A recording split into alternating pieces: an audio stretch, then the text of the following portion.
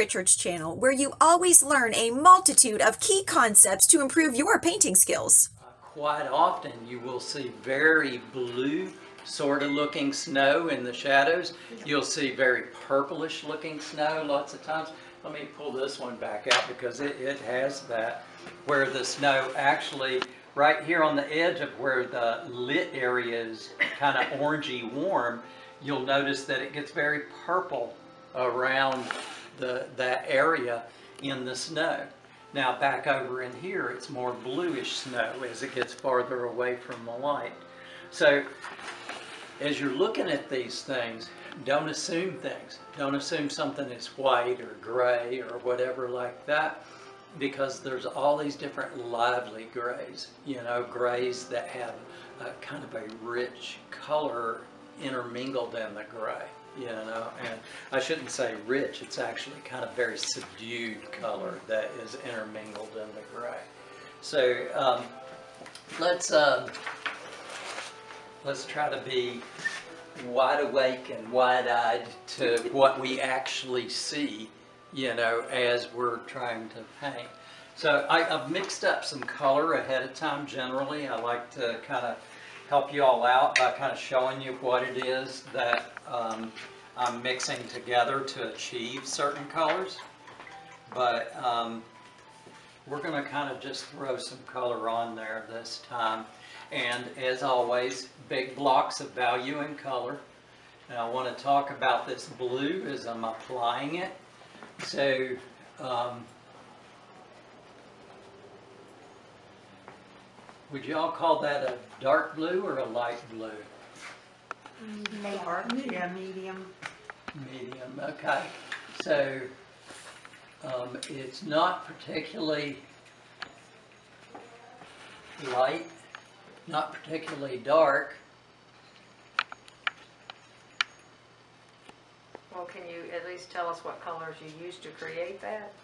Uh, yeah, um, you know, lots of times when I'm doing snow, I like to um, throw in, let's see, how far do we want to go with this? Okay, um, I, I like to use a cobalt blue. You know how often I'll use a uh, French ultramarine blue to create a lot of the darker blue colors.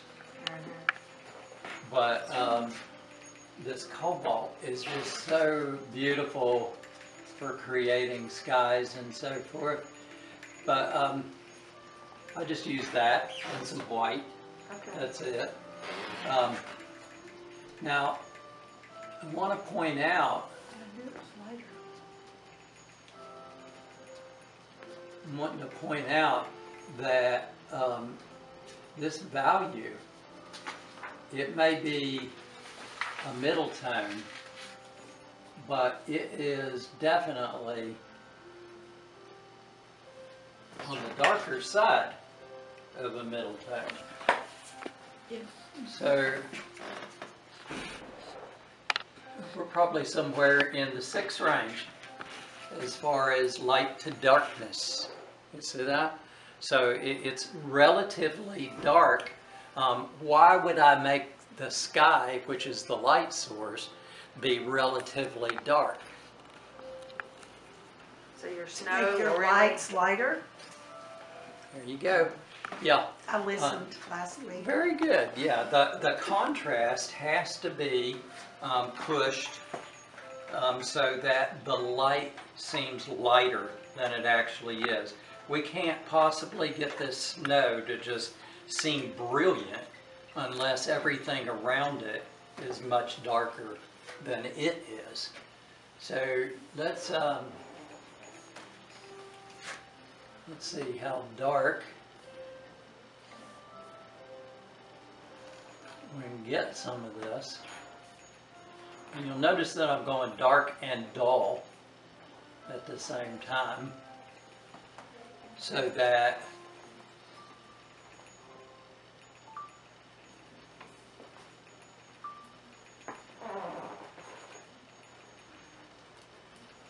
so that it is uh, compared to the snow. It is really quite dark. And while you're dabbing that out, uh, how did you get that dull dark green?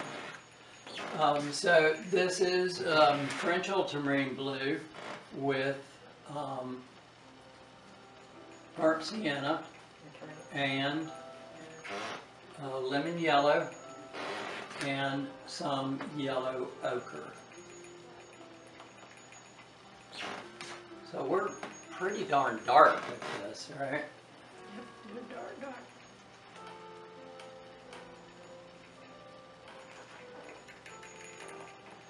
If y'all are hearing the music in the background, that is a lady that is playing some music here at the Arts Place because it is, Very calming. it Great to paint very by. nice. It is nice. I agree. Um, Very nice to paint by. So it's the, getting close to the Christmas holiday. I'm kind of painting this in a little bit, but, um, you know, mainly what we're trying to do here is to create those big blocks of value and color.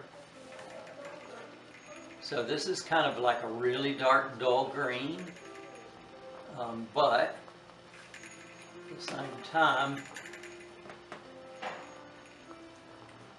we're looking for all of those other big blocks of value. So we don't want to get too caught up in like creating um, details. You know, the details are not important right now. But you can see as we create these dark darks, um, what is also happening is that what's left over is becoming a very light light.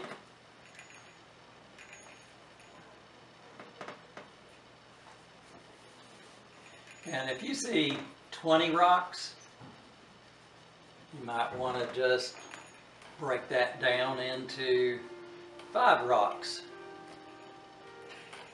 Simplifying some of what we're doing.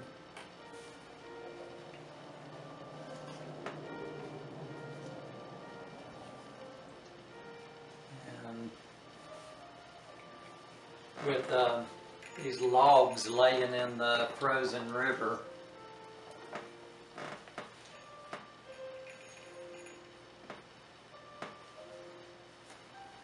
you might um, simplify that as well and use that to point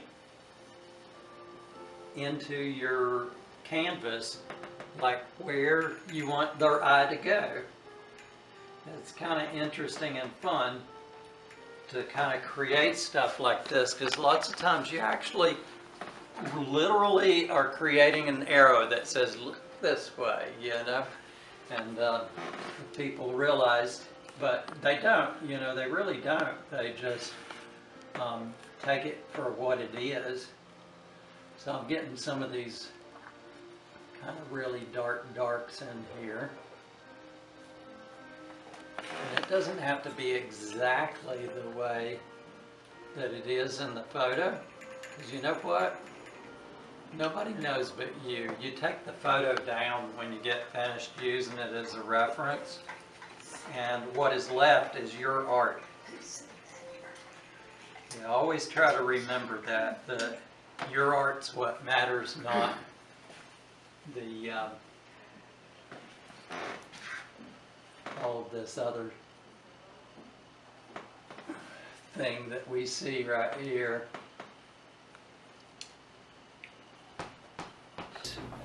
How dark I'm going with this bluish gray.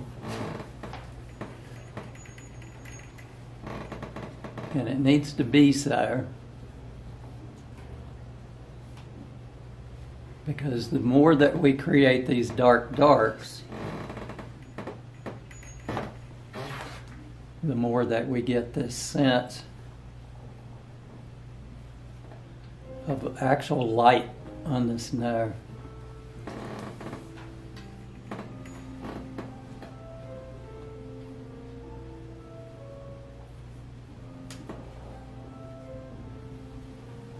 Keep your shadows going the same direction. Sally and I were talking about this before um, we started filming. And um, you have to do that. You have to always keep those shadows feeling like they're heading the same direction. When you're out painting in plein air, there's something called chasing the light where you're out there for several hours, you may end up um, creating some um,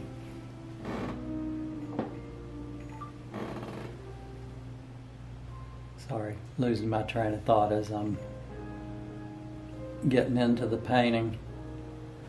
You're out there for several hours, the light may change very drastically over that period of time. And you got to stick with what you first started doing right in the beginning. Because if you don't you'll end up with this weird looking thing that um, it's got shadows coming in from one direction and part of your painting and another direction from another part of your painting it gets pretty weirded out at some point you'll notice i'm changing up some of this. In some places, we've got just some flat grays. In some places, we're going to have very cool looking grays. This right here, this nice blue gray. It's kind of neat looking. And I'm using this a little more here in the foreground.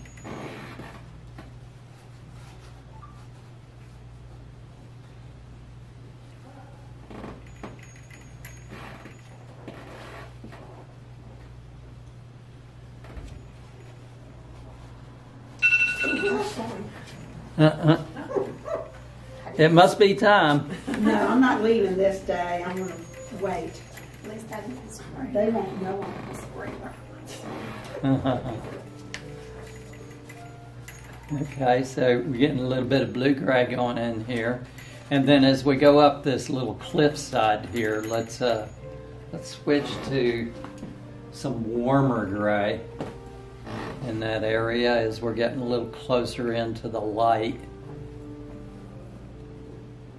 Try to leave some of these little dappled edges in places.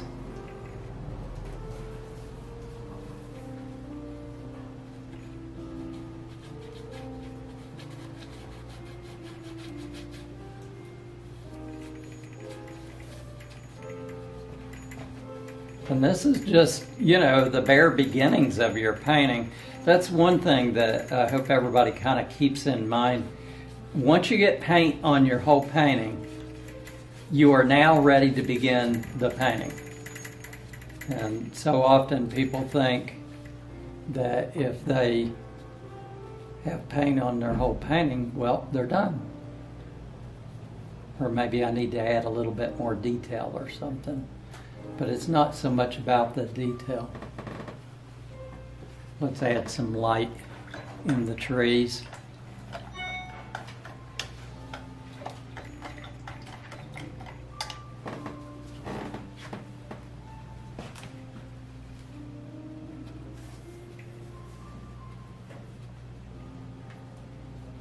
This is kind of the middle tone. That area where the light's beginning to wrap around and it's a little more chromatic in places like that lots of times.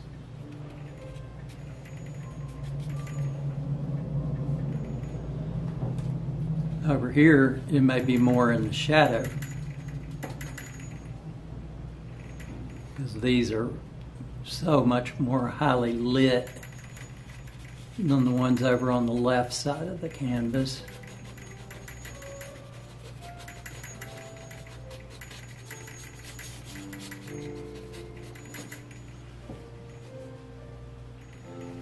Some of these in the background would have some of this as well. But then where it gets hit by the bright light, strongly by the bright light, it's got to get warmer. So I put a lot of yellow ochre in that mix. And um, we'll push that even a little farther, a little more yellow ochre. Get that a little brighter. I'm going to take some of that off because it um, it's got too much uh, green paint on there. And I want it to be, we'll just keep pushing it. You know, get it a little warmer a little warmer. So, Craig, Uh-huh. excuse me, Craig, Yes. when you did your initial green, you used um, French Ultra, burnt sienna, yellow ochre, and what was the other? Lemon. Lemon yellow, yep. So to create your lighter greens now, you are just you took that base and just added more yellow or more this. Uh-huh. But it all stems from that initial one that you did. Yes, it does. Yep, that's exactly right.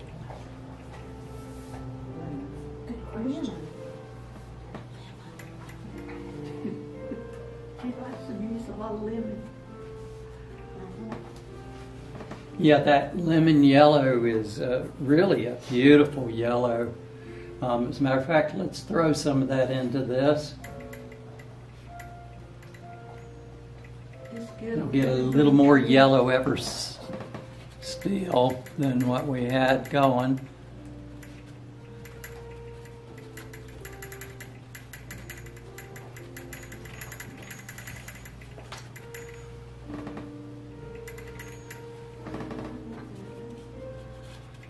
Uh, you can go back and kind of get this a little more accurate. All this is, is our big blocks of value and color going on here.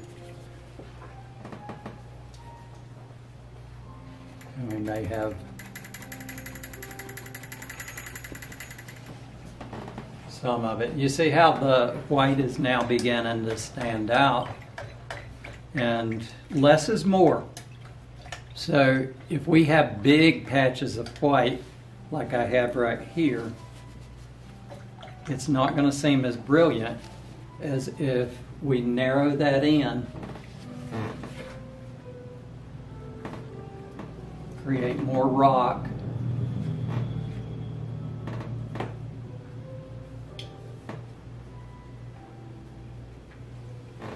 So that there's very little of the actual white showing.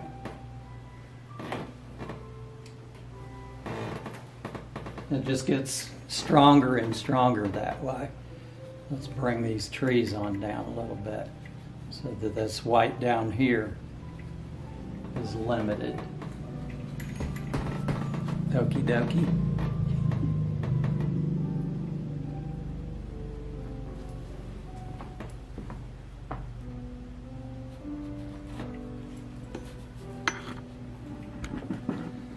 Have to do something with this. This is not working out right in there.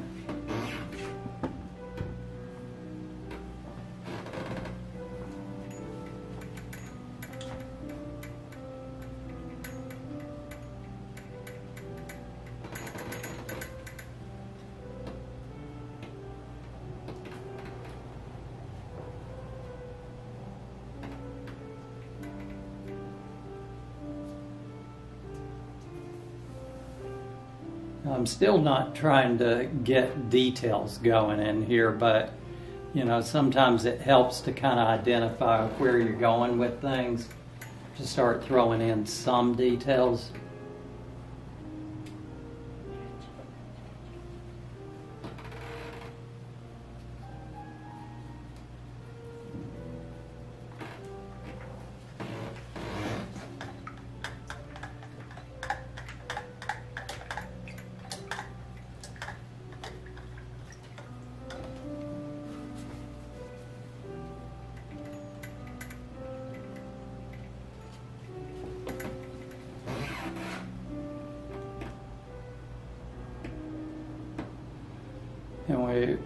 Narrowing this down then with these dark darks in so many places.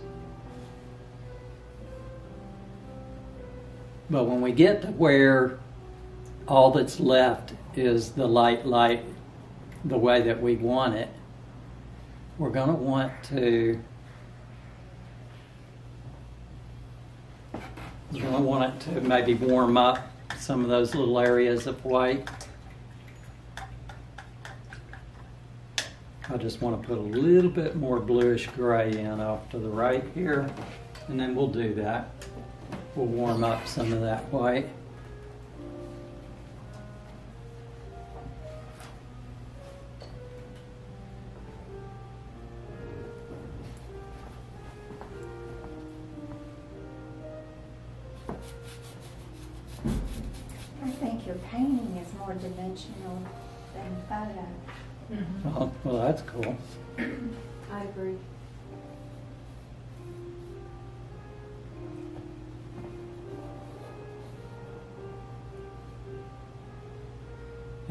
You know, how I'm grabbing little bits of this paint and seeing like little warm things emerge. You know, that's what you hear people refer to as letting the paint guide you. You know, you kind of start creating some things. And you're not as worried about getting it exactly accurate with the um, with the photo that you started with and you start thinking more in terms of what am I doing with my painting? What am I doing to make my painting look correct or the way that I want it to be? I'm going to darken some of this snow down. When we talk about big blocks of value in color, sometimes you recognize that there's a big block that is just way too light and we just go in and start working on the big block to get it a correct value or a value that you're pushing to make it make the rest of it feel more correct. Okay. So when we get to a point like this, you may clean up some of your snow. I'll tell you a little trick that I did before you got here. Is I um, I painted my canvas with white acrylic paint. You can go oils over top of acrylic. So that white acrylic dried, and now I can go through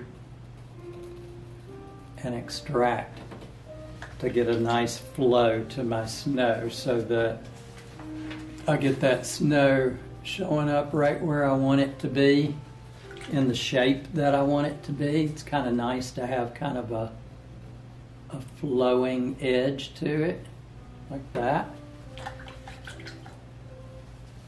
Some of this is kind of rough and scruffy. We can kind of straighten that out a little bit and make it bright where you want it to be bright at. Doesn't have to be exactly the same as your photo reference. Fill it out. What what makes it feel good? That's more important than anything else, right? Mm-hmm. Watching you paint feels good.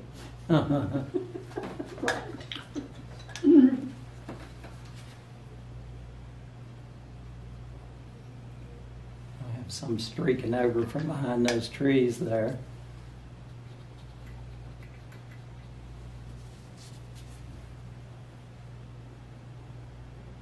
And we don't have any of this light right here like on the snow like in our waterfall. So let's go ahead and darken that down a little bit. And we do off to the right there have a little bit of that.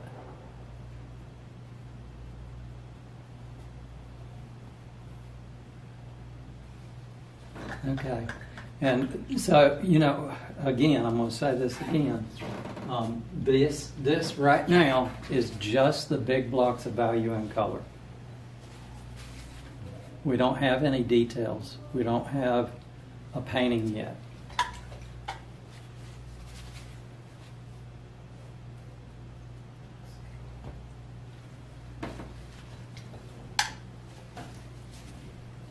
Want this to feel more like a streak of light coming across here. And maybe the light is glinting off one of these logs a little bit, so just extract out along the edge of the log. I don't know why it is, but if you kind of like make your lit areas a little bit more elongated and um, horizontal, they lay a little flatter and they seem a little more natural.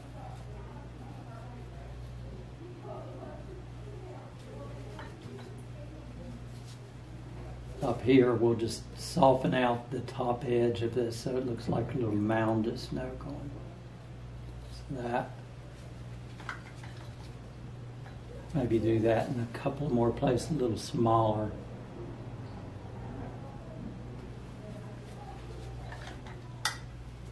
We'll have to go back in and do some nice dark darks in a few places.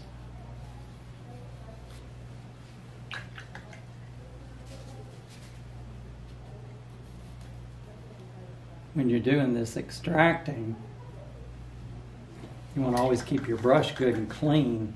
You can't just keep rubbing back and forth across this paint and expect it to continue to extract. See, that didn't extract off because my brush was not clean enough. I always wash it thoroughly, wipe it off with a paper towel, and then you can extract again. Okay, and always get back from your painting and look at what it looks like from the back because I, I'll invite y'all to come up in a minute here and get up close and look at it, and it will look like crap when you get up close. It really does. But um, from back here, I'm getting that sense of light on the snow, and so um, that is awesome, you know. Um, okay, so here's the last little thing we're going to add in. So this would be more detail work. This would be something you would do as you're developing the painting. Not at this stage. I would suggest that you continue to work with your big blocks of value and color until you feel like everything is correct. Then move on to doing the detail stuff. But I'm going to just kind of show you so that it makes sense. Remember, we did this on the church where if you use thick paint, the light from the ceiling actually glances off of your thick paint and actually truly is glowing. It, it actually is glowing. And what you can do is, is add a little bit of yellow. Now I have yellow right here, um, but you'll notice it's a little contaminated from where I've used it to mix other colors. That's the reason that you always take some of your color and sit it over on your palette and use it for mixing because otherwise you'll contaminate your main pool. And so what I'm wanting to do is take some of this nice clean yellow, just a little bit of it, so it's highly chromatic and totally pure. And I'm going to set it next to this white that I just put up here. And you mainly want it to be white. So just start with the white and add a little bit of yellow to your white, that's still very yellow. If I sat that off by itself, everybody go, I'd say, what color is that? Yellow, right? Um, so what we want is something that is white that we don't even realize that it also is a little bit, teeny bit yellow. If you start throwing yellow paint, you know, light, light yellow paint in here, it's not going to look right. But if you have reduced it down to where when somebody looks at it and you say, what color is that? They say white, but it actually has some yellow in it. Um, then you can make some of this shine a little more and this brush is completely globbed with paint. It's just full of paint. So what I'm going to do, if I can find an empty spot on my palette here, is clean some of it out and get it good and clean with this because I want to be able to, I want a nice sharp brush for this. So I'm going to roll it up. You've seen me do this before, lay it out flat, roll it up so that you see a bead rolling on the end. You can do that with a palette knife as well. And then you apply it. And that's where you get that little edge that shows up as an actual brilliant spot.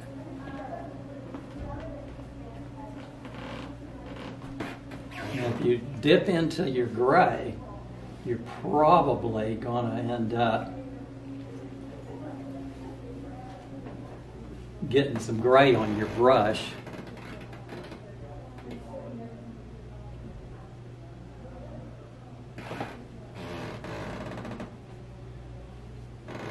And you know if you do that, it's not going to be all brilliant and pure the way that you were trying to get it to be. So be aware of that. Clean your brush out if you start having problems with it like that.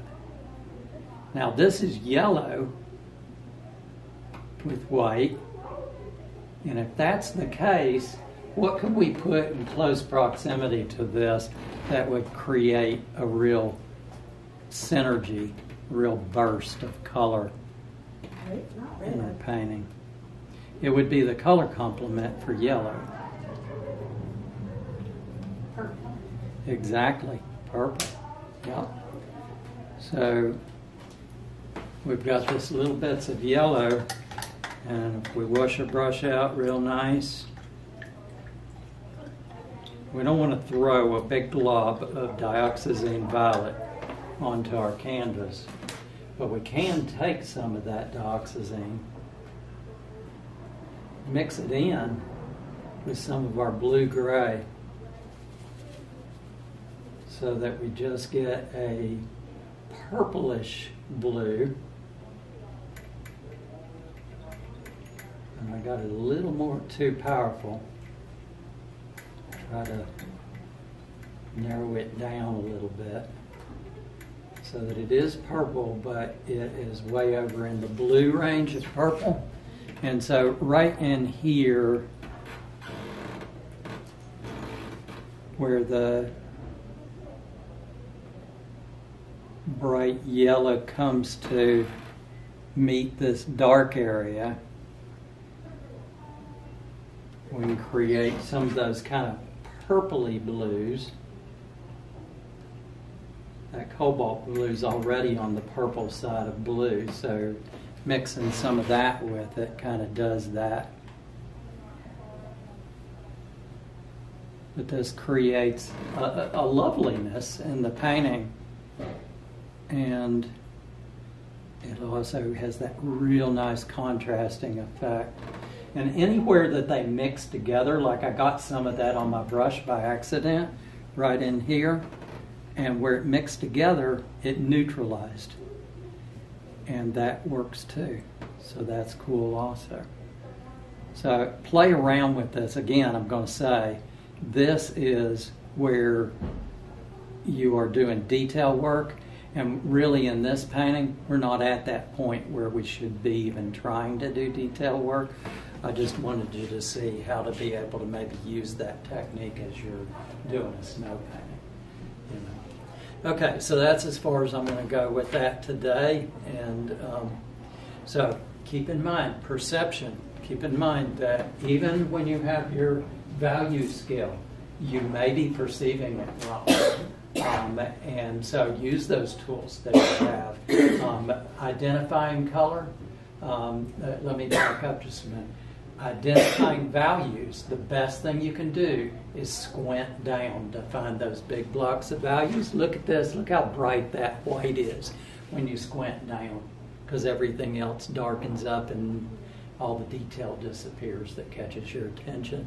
Whenever you're trying to identify color, open your eyes up, actually raise your eyebrows, and don't look at the color directly. Like if I'm trying to identify what is that color of those rocks that has the sunshine shining on it, don't look right at them. Look right over here off to the side just a little bit off to the side so that it's ever slightly peripheral and you'll actually perceive the color a little bit more accurately that way. Okay. All right. There we go. We'll come back to this next week because I want to do some more snow painting. That'll be fun. Okay. So next week, are you're gonna show us, I like this, what I wanna know next is how to do those details. You know, like how to brush stroke those trees, Mhm. so that, that's what you're gonna show us next week. Yeah, yeah, we'll get into this. And in the meantime, I'm probably gonna paint some more of these if I get time. Actually, this week I. You've got things to The do. following week, I have set aside to do just the, um, the editing for all of the filming Oh, we've yeah. been doing, but I know I'm not gonna be able to sit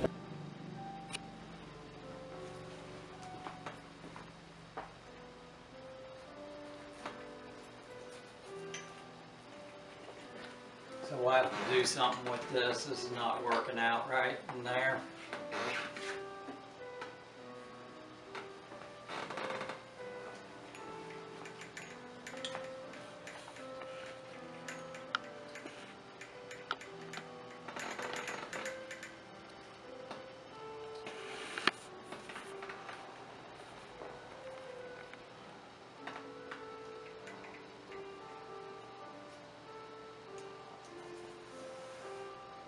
I'm still not trying to get details going in here, but, you know, sometimes it helps to kind of identify where you're going with things, to start throwing in some details.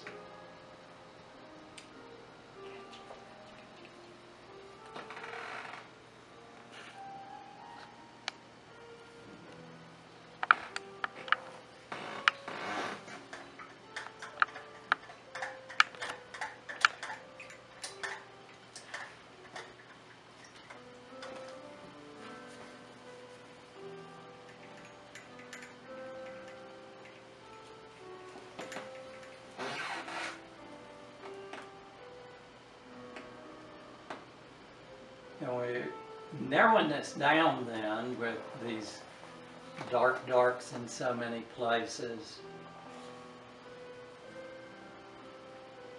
But when we get to where all that's left is the light light the way that we want it, we're gonna want to we're gonna want it to maybe warm up some of those little areas of white. I just want to put a little bit more bluish gray in off to the right here, and then we'll do that. We'll warm up some of that white.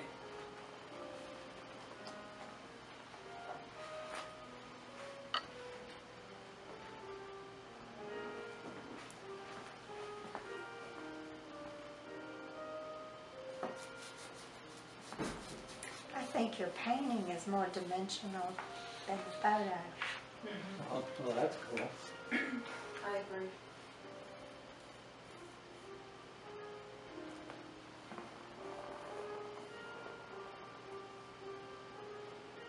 And, you know how I'm grabbing little bits of this paint and seeing like little warm things emerge. You know, that's what you hear people refer to as letting the paint guide you. You know, you kind of start creating some things. And you're not as worried about getting it exactly accurate with the, um, with the photo that you started with and you start thinking more in terms of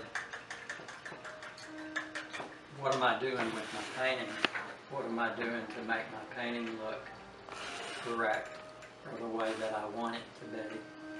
I'm going to darken some of this snow down.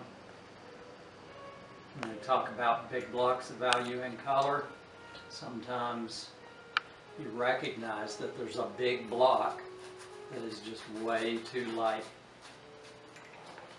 And we just go in and start working on the big block to get it a correct value or a value that you're pushing to make it, make the rest of it feel more correct. Okay, So when we get to a point like this, you may clean up some of your snow. I'll tell you a little trick that I did before you got here, is I, um, I painted my canvas with white acrylic paint. You can go oils over top of acrylic. So that white acrylic dried, and now I can go through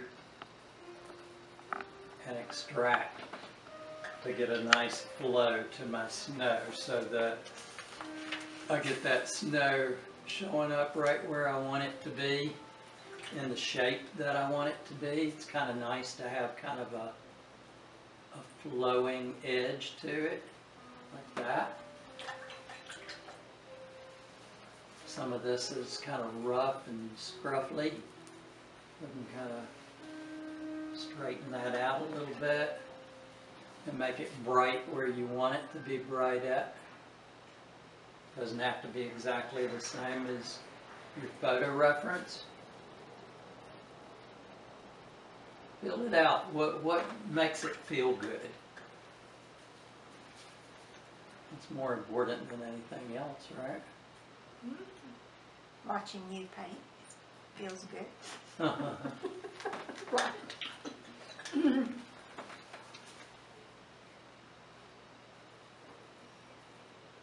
some streaking over from behind those trees there.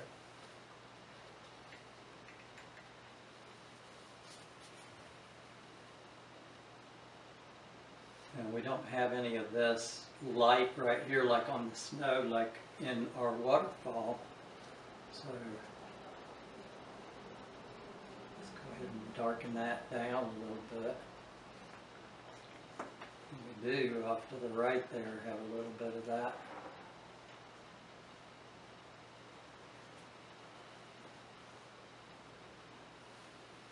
Okay, and so, you know, again, I'm gonna say this again. Um, this, this right now is just the big blocks of value and color. We don't have any details. We don't have a painting yet.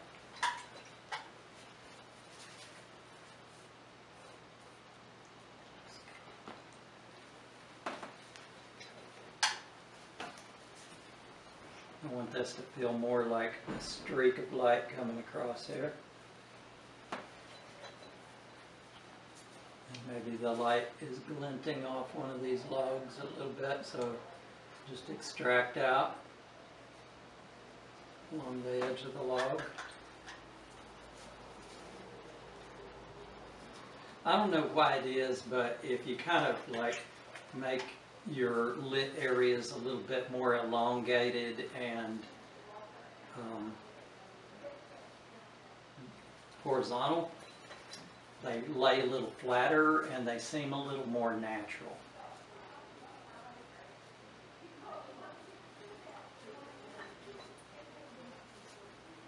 Up here, we'll just soften out the top edge of this so it looks like a little mound of snow going.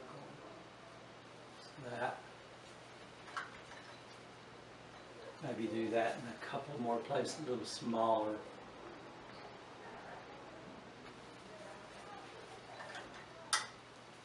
We'll have to go back in and do some nice dark darks in a few places.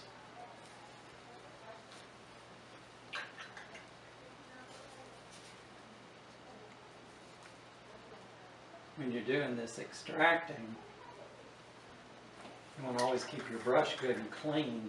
You can't just keep rubbing back and forth across this paint and expect it to continue to extract. See, that didn't extract off because my brush was not clean enough. I Always wash it thoroughly, wipe it off with a paper towel, and then you can extract again. Okay, and always get back from your painting and look at what it looks like from back, because I'll invite y'all to come up in a minute here and get up close and look at it, and it will look like crap when you get up close, it really does. But um, from back here, I'm getting that sense of light on the snow, and so um, that is awesome, you know? Um, Okay, so here's the last little thing we're gonna add in. So this would be more detail work. This would be something you would do as you're developing the painting. Not at this stage. I would suggest that you continue to work with your big blocks of value and color until you feel like everything is correct. Then move on to doing the detail stuff. But I'm gonna just kind of show you so that it makes sense. Remember we did this on the church, where if you use thick paint, the light from the ceiling actually glances off of your thick paint and actually truly is glowing. It, it actually is glowing. And what you can do is, is add a little bit of yellow. Now I have yellow right here, um, but you'll notice it's a little contaminated from where I've used it to mix other colors. That's the reason that you use it for mixing, because otherwise you'll contaminate your main pool. And so what I'm wanting to do is take some of this nice clean yellow, just a little bit of it, so it's highly chromatic and totally pure. And I'm gonna set it next to this white that I just put up here. And you mainly want it to be white. So just start with the white and add a little bit of yellow to your white. That's still very yellow. If I set that off by itself, everybody go, I'd say, what color is that? Yellow, right? Um, so what we want is something that is white that we don't even realize that it also is a little bit, teeny bit yellow. If you start throwing yellow paint, you know, light, light yellow paint in here, it's not gonna look right. But if you have reduced it down to where, when somebody looks at it and you say, what color is that? They say white, but it actually has some yellow in it. Um, then you can make some of this shine a little more. And this brush is completely globbed with paint. It's just full of paint. So what I'm gonna do, if I can find an empty spot on my palette here, is clean some of it out and get it good and clean with this, because I want to be able to, I want a nice sharp brush for this. So I'm gonna roll it up. You've seen me do this before, lay it out flat, roll it up so that you see a bead rolling on the end. You can do that with a palette knife as well. And then you apply it. And that's where you get that little edge that shows up as an actual brilliant spot.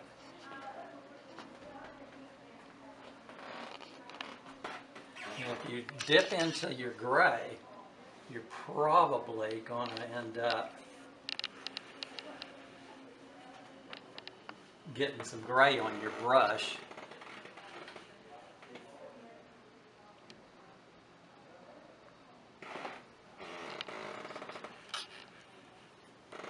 And you know if you do that, it's not going to be all brilliant and pure the way that you were trying to get it to be. So be aware of that. Clean your brush out if you start having problems with it like that.